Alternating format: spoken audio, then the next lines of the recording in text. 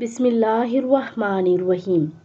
या रहमानो, पढ़ने की फजीलत, जो शख्स, जिस शख्स की औलाद ना होती हो, वो बाद नमाज़ असर सात दफ़ा।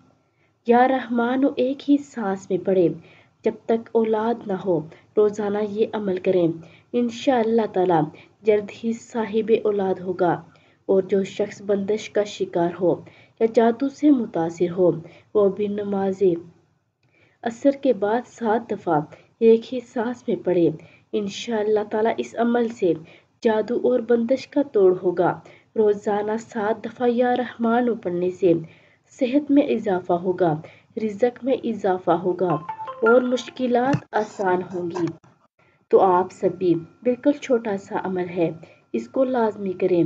या रहमानो, और वीडियो को आगे लाजमी शेयर करें।